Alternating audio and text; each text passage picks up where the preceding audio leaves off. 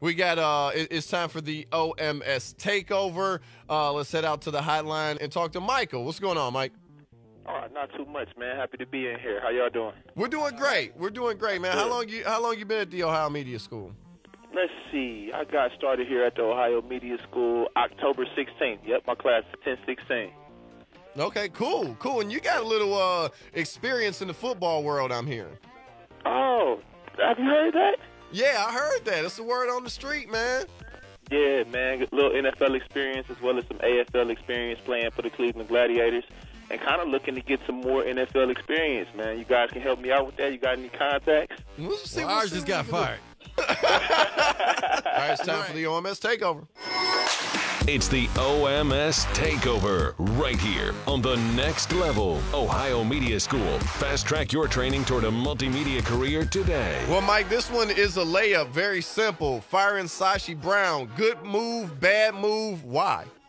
Ah, good move. Uh, he was the head of player personnel.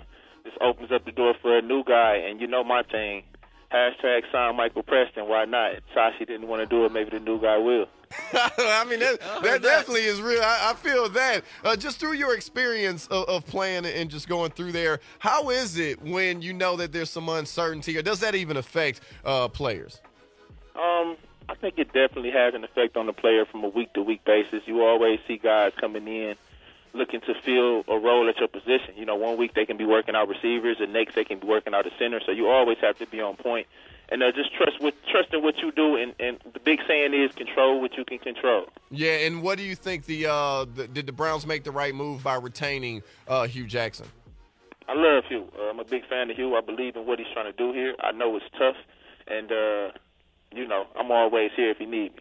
All right, there it is. Good job, Mike. Good, Yeah. good job. Um, you know, I, I, I, first of all, I love that um you you threw out your brand there and threw out the hashtag and, and promoted and all that. I mean, that that was great. Uh, that was good. And then you know you answered the questions well. You had thoughts behind them. I thought it was good. Right? Yeah, and as you pursue your broadcasting career, man, you bring that same level of swag to it, You're good to go.